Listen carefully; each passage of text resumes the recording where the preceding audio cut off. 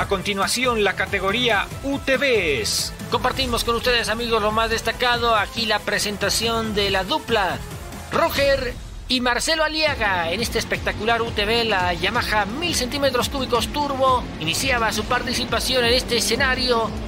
Estaban compitiendo fusionados en la manga de la N. Y toman perfecto la primera curva.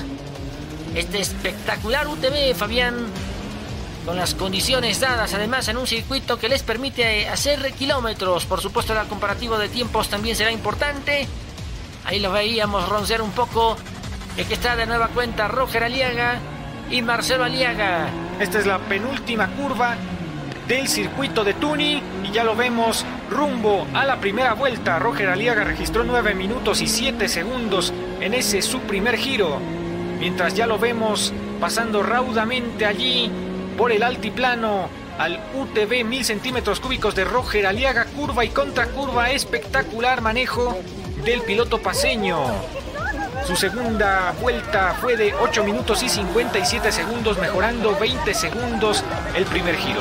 El gran manejo, la estabilidad de la máquina también es impresionante. Véanlo ahí intentando frenar a tiempo en la primera curva.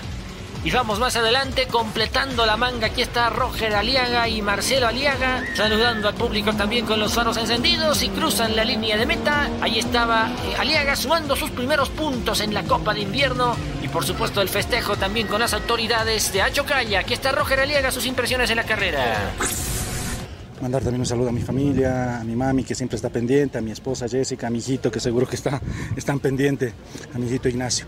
La verdad hemos, nos hemos divertido mucho, mi hermano, la, hoja ha estado perfecta, no hemos tenido ningún susto, hemos manejado muy bien, eh, el auto está perfecto, tenemos un pequeño problema en la loma, perdemos ahí potencia pero después corregía, así que esta carrera en todo caso era para probarlo. Y supongo que la próxima semana ya vamos a pulirlo el auto para dejarlo listo para el resto del año.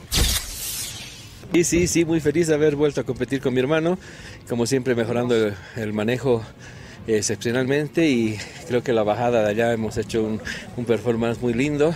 El UTV ha, rendido como tenía que ser y estamos muy contentos de estar acá y mandamos un gran saludo a la casa, a mi mamá que siempre está siguiendo el programa, a mi esposa que tiene todos los videos y, y siempre nos sigue igual por las redes, a mis hijos y a toda la familia.